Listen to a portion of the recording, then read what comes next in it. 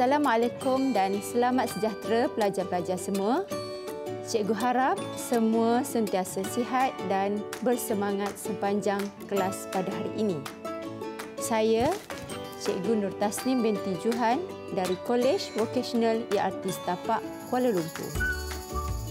Pada episod kali ini, tajuk pembelajaran ialah kompetensi 5 iaitu menjahit pakaian malam HFD 1032 night dress.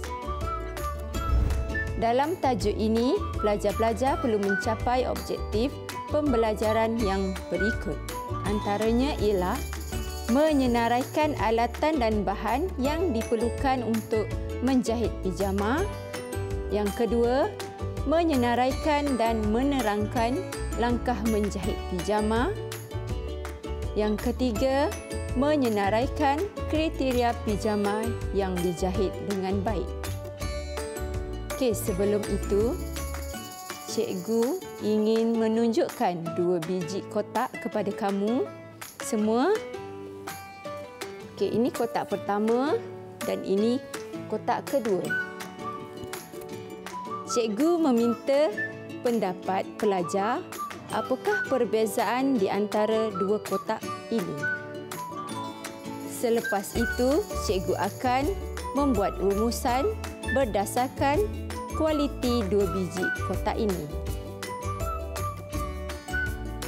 Jika teknik pemasangan penutup kotak ini tidak dipasang dengan teknik yang betul, akan menghasilkan dua perbezaan yang sangat ketara dan tidak menarik. Sama juga dengan menghasilkan sesuatu pakaian. Jika pakaian tidak dijahit dengan teknik yang betul, maka hasil pakaian tersebut tidak terletak dengan elok, tidak selesa dipakai dan kelihatan tidak menarik. Jadi, cikgu harap kamu semua faham apa itu kepentingan dalam menjahit sesuatu pakaian. Okey pelajar, pada episod lepas kita telah belajar menggunting fabrik pijama dan pada hari ini kita akan belajar menjahit pijama. Sebelum itu, kita perlu pastikan alatan dan bahan yang sesuai digunakan untuk menjahit. Pertama ialah snipper. Snipper merupakan alatan menjahit mempunyai mata yang tajam dan digunakan untuk menggunting benang sahaja. Cara penyimpanan Snipper pula ialah perlu disimpan di dalam sarung dan sapu minyak apabila perlu. Yang kedua ialah peretas. Peretas diperbuat daripada keluli yang tidak mudah berkarat, mempunyai mata yang tajam dan mempunyai penutup. Peretas digunakan untuk meretas mata jahitan, membuat lubang butang menanggalkan benang jelujur dan menanggalkan butang. Cara penyimpanannya pula ialah letakkan di dalam bekas jahitan, elakkan daripada terjatuh dan tutup selepas digunakan. Seterusnya ialah setrika wap. Perlu dipilih yang sederhana berat, mempunyai kawalan pelaras suhu dan mudah untuk dijaga serta boleh digunakan untuk kering dan wap.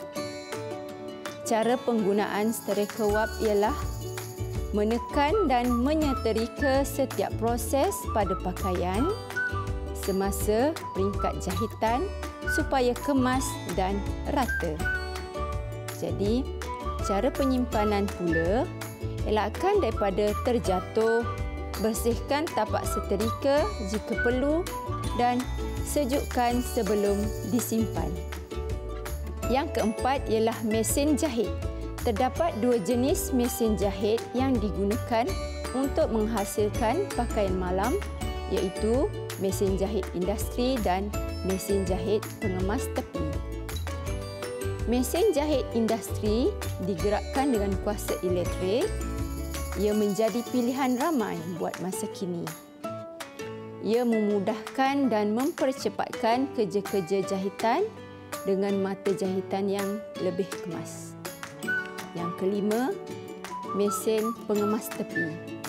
Mesin pengemas tepi digunakan khas untuk membuat jahitan pengemas tepi fabrik. Ia mempunyai penunjuk aras minyak dan mengawal ketegangan benang. Ia juga memerlukan kecekapan tangan untuk mengendalikannya. Mesin ini amat penting bagi membuat pakaian. Baiklah pelajar, cikgu akan menunjukkan cara menyediakan mesin. Yang pertama, pelajar perlu pasangkan benang pada mesin. Pastikan benang yang dipasang dengan langkah yang betul. Pelajar juga perlu beri perhatian semasa mengisi benang pada gelendung dan perlu memasang gelendung bersama skoci pada mesin. Pastikan benang tersebut tegang dan tidak longgar proses jahitan pijama. Proses kerja menjahit pijama perlu disusun sebaiknya. Kumpul bahagian-bahagian fabrik yang telah digunting. Pastikan kepingan fabrik yang digunting mencukupi. Pastikan tanda-tanda basi jahitan jelas supaya memudahkan kerja-kerja menjahit pijama. Yang pertama ialah menyediakan bahagian panel pakaian yang perlu dicantum dan dijahit. Bahagian-bahagiannya ialah badan hadapan, badan belakang, seluar hadapan, seluar belakang, lengan, kocek dan collar. Teknik menjahit pakaian malam iaitu pijama mengikut turutan kerja yang betul. Yang pertama ialah proses menjahit kocek. Cikgu akan menunjukkan bagaimana cara untuk menjahit kocek. Yang pertama, kocek perlu dilipat pada bahagian basi dan tolak masuk ke dalam dan perlu ditekan. Selepas itu, kocek ini perlu diletakkan pada kedudukan kocek pada badan hadapan. Kocek ini perlu dijahit pada kedua bahagian badan iaitu kiri dan kanan. Cikgu akan tunjukkan ini adalah hasil kocek yang telah siap dijahit. Proses seterusnya ialah menjahit belah klepek sama lebar. Pelajar perlu mengetahui dua garisan iaitu garisan GTH dan garisan GL. Dan pelajar perlu lipat pada garisan GL dan perlu ditekan. Selepas pelajar menekan pada garisan GL, pelajar perlu menjahit dengan mesin.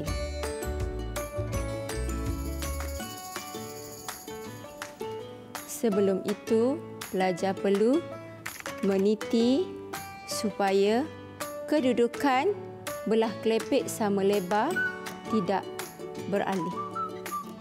Okey, baiklah. Cikgu akan tunjukkan hasil belah klepek sama lebar yang telah siap. Langkah seterusnya ialah mencantum bahagian badan belakang dengan bahagian badan hadapan.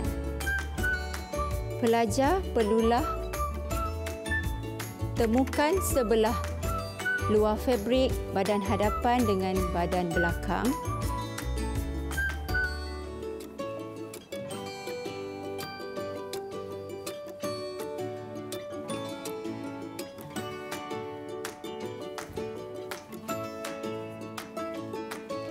Temukan pada garisan pemadan iaitu GP pada garis bahu dan perlu semat peniti ataupun pelajar boleh jeluju.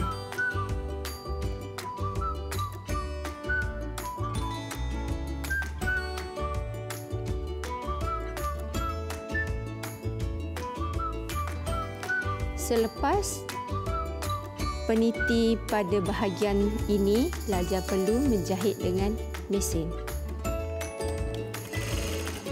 Dan pada akhir jahitan, pelajar perlu matikan jahitan.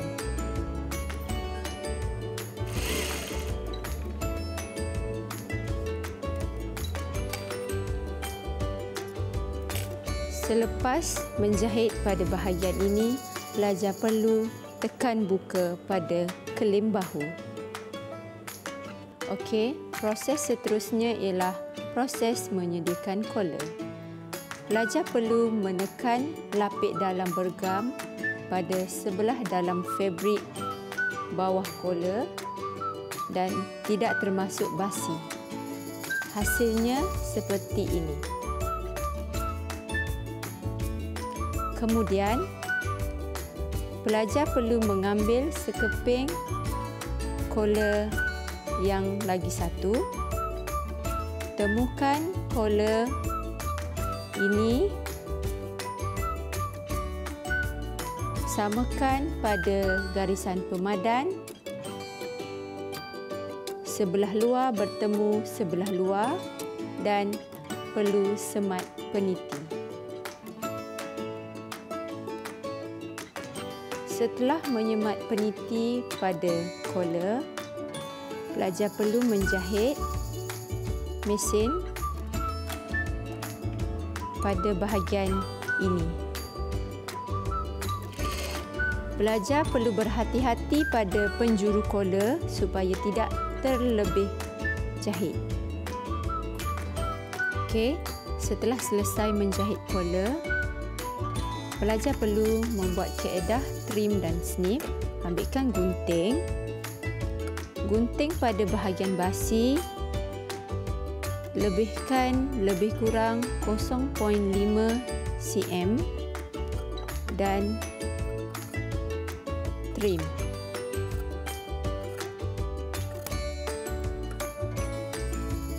Trim pada ketiga-tiga bahagian. Satu, dua, tiga. Pada penjuru kola, perlulah digunting menyerong seperti ini. Dan lagi satu. Keadaan yang kedua adalah snip. Raja perlu snip pada basi kola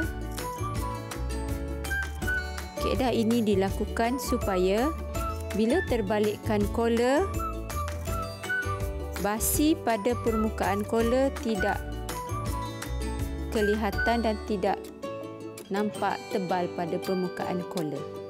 Okey, selepas itu pelajar perlu terbalikkan kola ini dan bentukkan penjuru kola mestilah tajam dan kola ini perlu ditekan dengan rata.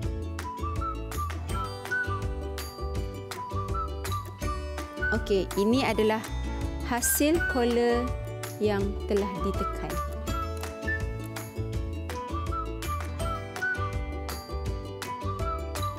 Okey, seterusnya ialah proses mencantum dan menjahit rusuk. matikan jahitan dan hasilnya seperti ini. Okey, seterusnya ialah menyediakan dan menjahit lengan. Temukan sebelah luar lengan dan temukan pada garisan pemadan. Seterusnya perlu semat peniti. Setelah semat peniti pelajar perlu jahit mesin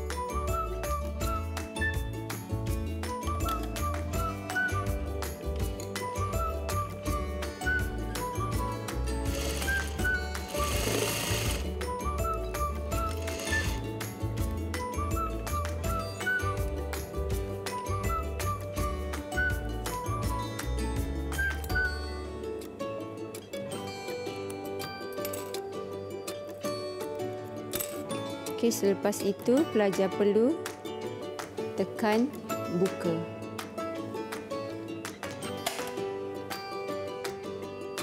Selepas itu ialah proses mencantum lengan pada keruk lengan.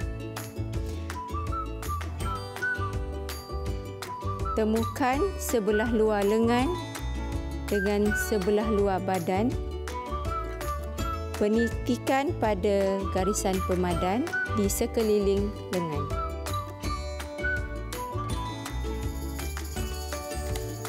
Okey, pelajar perlu menjahit pada garisan GP.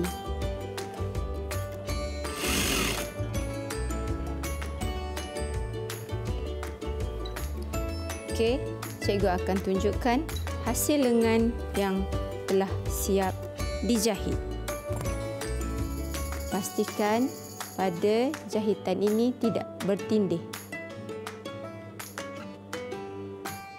Kita akan menjahit kelepek lurus pada bahagian bawah badan baju.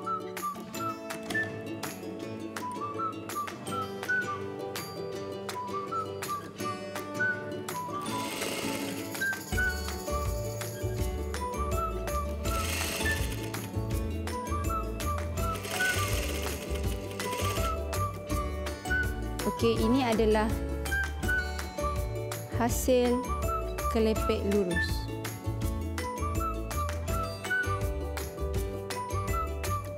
Okey, setelah selesai menjahit baju pijama, kita menjahit seluar pula. Yang pertama, temukan seluar bahagian hadapan bertemu dengan bahagian belakang. Sebelah luar bertemu sebelah luar.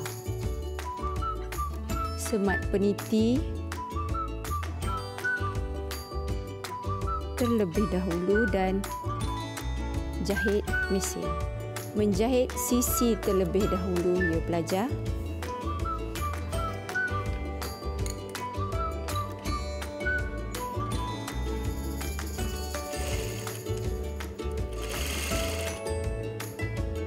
Setelah siap jahit seluar pada bahagian kiri, pelajar juga perlu menyiapkan keedah yang sama iaitu menjahit sisi seluar kanan.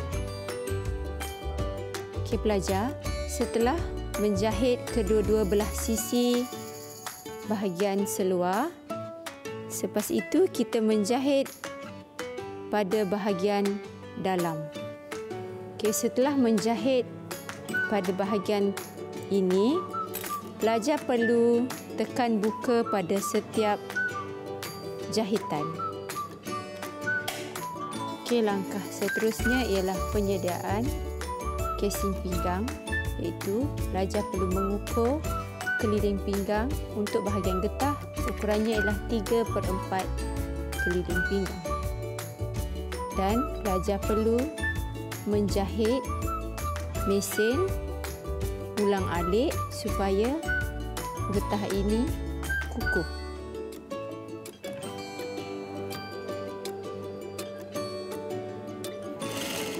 Okey, pelajar perlu mengulangi langkah jahitan yang sama dua atau tiga kali supaya getah ini kukuh.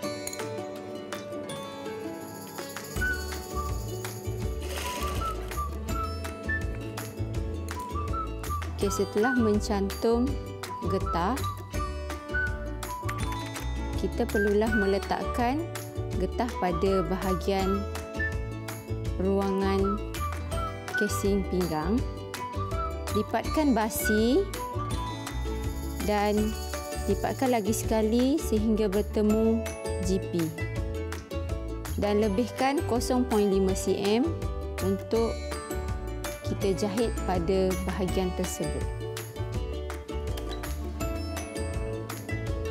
Okey, setelah siap memasang getah pada bahagian casing pinggang, pelajar perlu seratakan kedut pada bahagian ini dan perlu menjahit di tengah-tengah bahagian getah. Jangan lupa juga untuk selaraskan mata jahitan dan pelajar boleh mula menjahit. Pelajar perlu tarik getah ini bersama-sama dengan fabrik dan mulakan menjahit.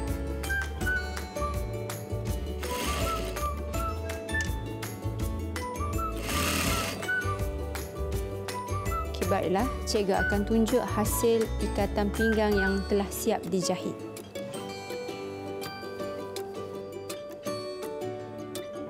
Okey, proses akhir sekali ialah menjahit kelepek lurus pada hujung kaki seluar. Pelajar perlulah melipat pada bahagian basi hujung kaki seluar dan perlu menekan pada bahagian ini dan jahit lurus.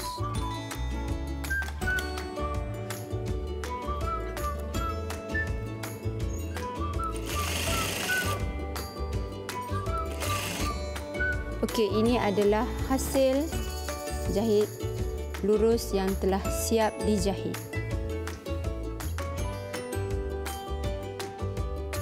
Baiklah, pelajar-pelajar semua, cikgu sediakan beberapa soalan untuk menguji pemahaman kamu. Pelajar-pelajar boleh cuba menjawab dan berbincang jawapan dengan guru atau rakan-rakan di dalam kelas nanti. Soalannya ialah seperti berikut. Pertama, apakah fungsi peretas?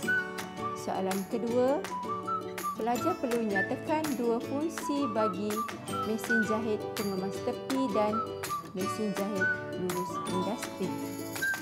Yang ketiga, senaraikan alatan dan bahan menjahit pijama. Soalan yang keempat, senaraikan langkah menyediakan kola lurus.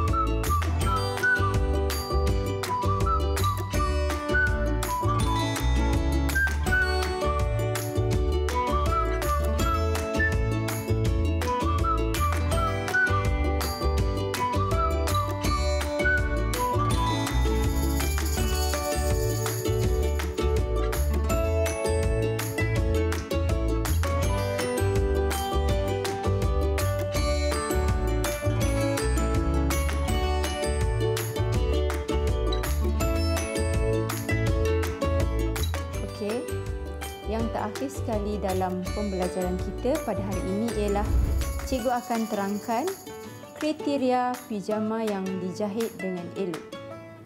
Pakaian yang telah siap dijahit perlu ditekan dengan rata dan kemas dan pastikan semua kelim ditekan rata. Setiap pakaian mestilah dijahit mengikut style yang telah dikehendaki dan mengikut teknik yang betul. Kriteria pijama dijahit dengan elok ialah lengan pijama tergantung dengan elok. Kedua-dua lengan sama panjang. Rata pada kepala lengan. Baju tergantung dengan elok. Belah kelepek sama lebar sama panjang pada kedua-dua bahagian. Butang berada tepat pada kedudukannya. Kedudukan kola seimbang. Permukaan kola rata. Cantuman kola pada garis leher rata. Penjuru kola mestilah tirus. Kocek dijahit tepat pada kedudukan. dan kocek dijahit dengan elok. Saiz kocek tepat. Penjuru kocek dikukuhkan dan labuh seluar sama panjang. Jahitan pada casing pinggang kukuh dan serata. Kelepek lurus sama lebar dan kemas. Jahitan kelepek lurus, kukuh dan kemas. Kelem belah kangkung lurus dan kemas. Okey, itu sahaja. Baiklah, kita telah sampai ke penghujung episod. Tapi sebelum itu, kita imbas semula apakah topik yang telah kita pelajari hari ini. Yang pertama, cikgu harap pelajar dapat mengenal pasti alatan dan bahan menjahit pijama. Yang kedua, pelajar dapat menyenaraikan dan menerangkan langkah menjahit pijama. Dan yang ketiga, iaitu yang terakhir sekali pelajar dapat menyenaraikan kriteria pijama yang dijahit dengan baik. Cikgu harap pelajar dapat memahami dan mengaplikasikan apa yang telah cikgu sampaikan pada hari ini. Baiklah, sampai di sini sahaja episod kali ini. Selamat maju jaya semua. Bye.